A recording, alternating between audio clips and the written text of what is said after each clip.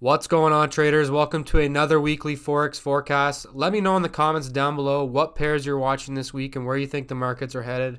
We're going to break it down in this video, so stay tuned and hit that subscribe button if you want to learn more about supply and demand trading. Added 2,600 longs and they actually added 2,300 shorts, so this move up could be short lasted here.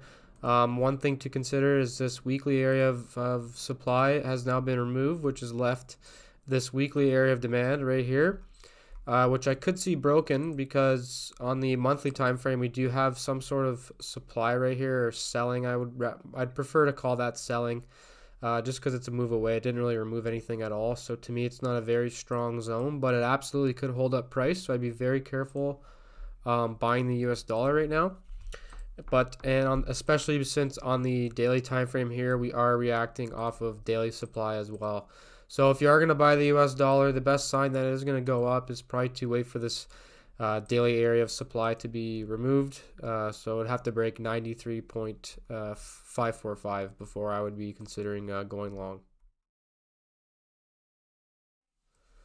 All right on to euro usd the past week they didn't really do much with their longs. They got rid of 700 but they actually ordered, uh, added 18,000 shorts, so that's pretty significant. Uh, could be part of that rally down that we're seeing now. So it's kind of the opposite picture of the U.S. dollar here. If I'm going to be shorting, I'd want to see this removed, but uh, we are uh, daily demand is in control, so you did have some confirmation here.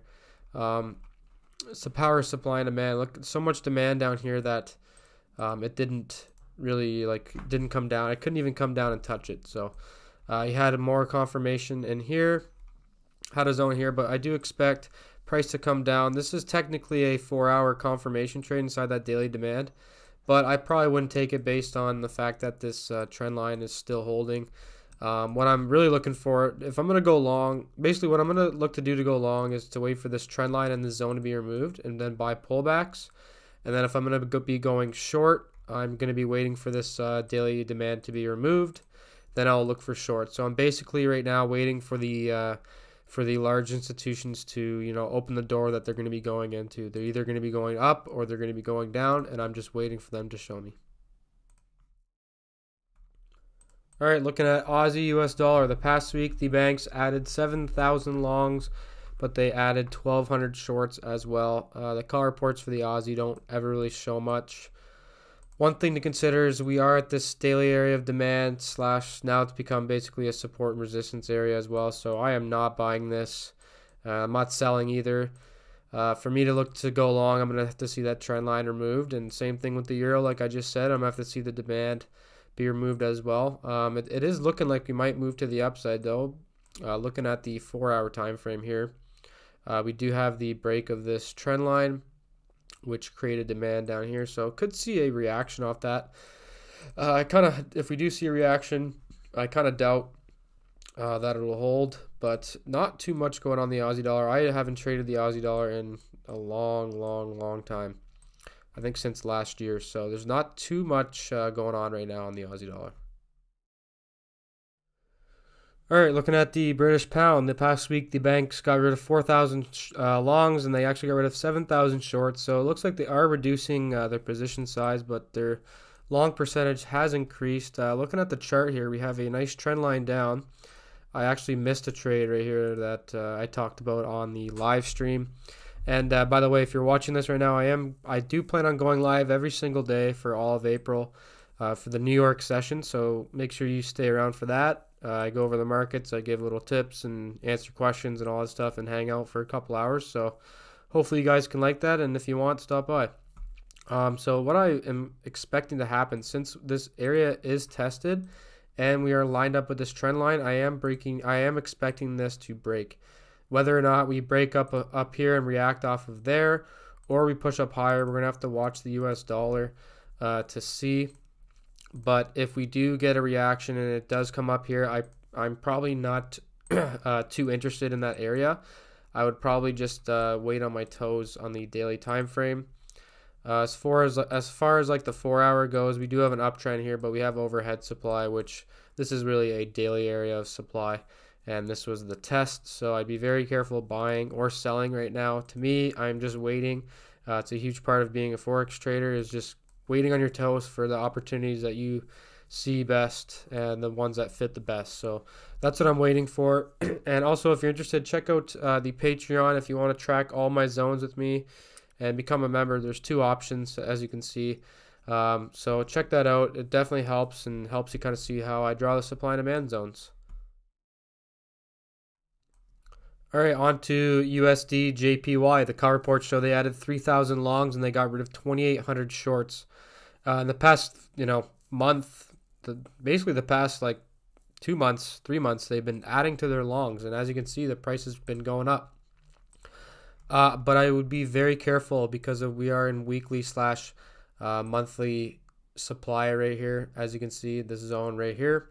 So be very, very careful uh, buying the USD If you do, I would be taking profits somewhat quickly or trailing your stop loss quick. Um, one thing I'm at, one area I'm interested in, I mentioned this on the live stream too, so that's why it's nice to stop by. I talk about these things as well, but I mentioned that I am interested in this area on the daily time frame. But what I'm going to be doing is looking for that one hour confirmation in there.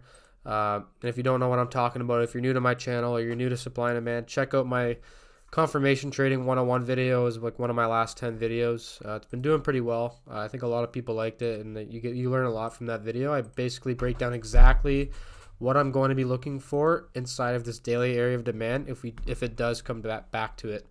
Um, and i don't plan on uh, shorting the usdn right now. Basically all i'm waiting for is price to come back down here. And you know it might not or it might take a few days. So i'm just going to be sitting on my toes all right, on to USD CAD. The past week, the banks added 20, uh, 260 longs and added 1,600 shorts as well.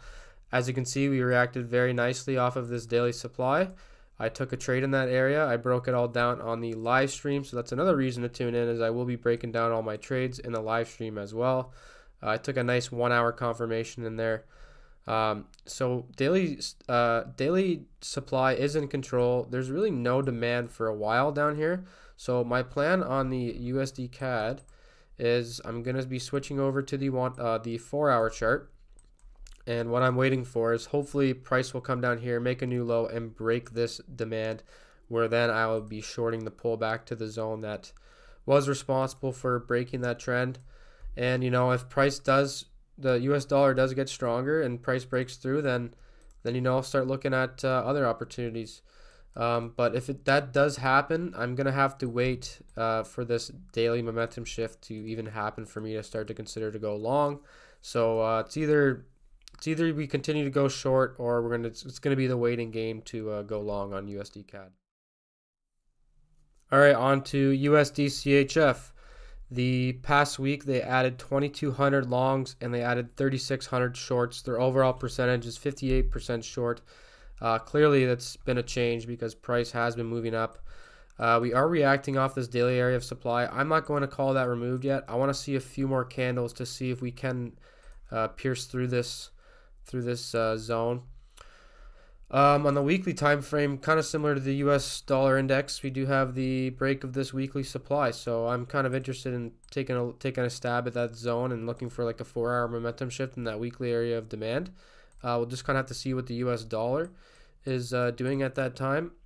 On the four-hour chart, uh, price is sideways. So, you know, if price does come up here like that and break this zone, then that whole daily zone that we had would be broken as well. And then, you know, looking for for longs on the upside is totally uh, reasonable. So that's what I'm waiting for. And if not, if price does come down here and start reacting, then I might actually look for some shorting opportunities on like a one hour chart, maybe even a 15 minute chart if I'm uh, live on YouTube. So, yeah, that's kind of what I'm waiting for on the Swiss. All right, on to gold. The COT reports show they added 600 longs and they added 7,000 shorts. Uh, their overall percentage is still 73% long, and we are starting to see that reaction off of this daily area of uh, demand. So we do have a daily demand zone in control. So I will be changing that to in control. So technically looking for like a one hour uh, zone off of there could be somewhat valid. And we also on the four hour time frame, uh, we also have this four hour demand zone right here uh, because they removed that uh, trend line. So you know what I could see happen on gold as we react somewhat off this supply and push back down to here. And I might actually be interested in uh, going long at this four hour demand. I'm to have to wait to see uh, how the market is reacting off of that first. Maybe look for like a 15 minute confirmation trade in that four hour area.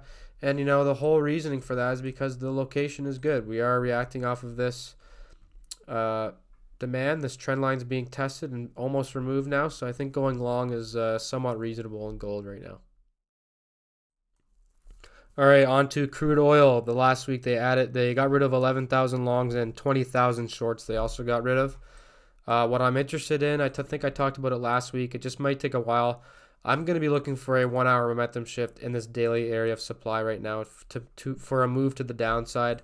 And, you know, if I'm wrong and I get stopped out or I don't get the confirmation, then, you know, price is probably headed up. So then I'll start to look for longs on oil. Um, yeah, I just right now I'm sitting on my toes. I don't want to be I don't want to be shorting right now, especially since all the time frames are kind of uh, out of sequence right now. This is this is a sideways market. I don't like to really trade in sideways markets, um, but it is looking like on the four hour we are headed back up to this area. So that's kind of what I'm waiting for in oil. I'm just uh, sitting on my toes. So a lot of sitting on my on uh, on my toes this week in the market, but I think that's what uh, separates the good traders from the bad. So hopefully this video uh, helped you and you see what I'm uh, talking about uh, for all these markets. Alright everyone, thanks again for watching this week's Forex Forecast. If you enjoyed this video, don't forget to hit that like button and hit that subscribe button as well if you don't mind. I really appreciate all the support. Let me know in the comments down below what pairs you're looking at this week. And you know, maybe we can get in touch and you can send me a chart and let me know what you're looking at. I always like looking at charts. So with that being said, let's have a great trading week and let's make some money. Cheers.